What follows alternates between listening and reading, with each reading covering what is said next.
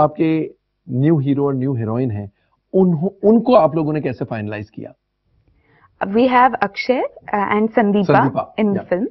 Um, actually, uh, Akshay has had visited the Rajshri office okay few months back, and uh, he remained in the mind of some of our senior people. Okay. तब तो कोई script या कोई कहानी ready नहीं थी उनके लिए तो वट हैपन्ड इज़ जैसे हमारी इसी लाइफ में रेडी हुई तो all these people in office they suggested is this one boy that you all should meet maybe you know he will click so sir and me met him and as soon as he walk into the room at least I knew that I had found my Vivaan अच्छा.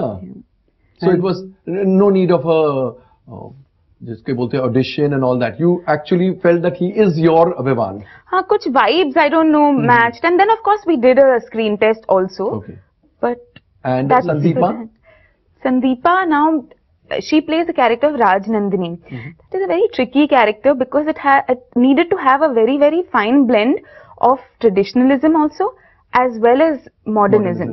because she goes from Raj Nandini to RJ in the film. Okay okay So we were finding lot of lot of very nice young girls. कहीं पे Rajnandini missing थी तो कहीं पे RJ missing थी. So we went through lot of round of auditions जिसमें से finally we lucky that we found Sandeepa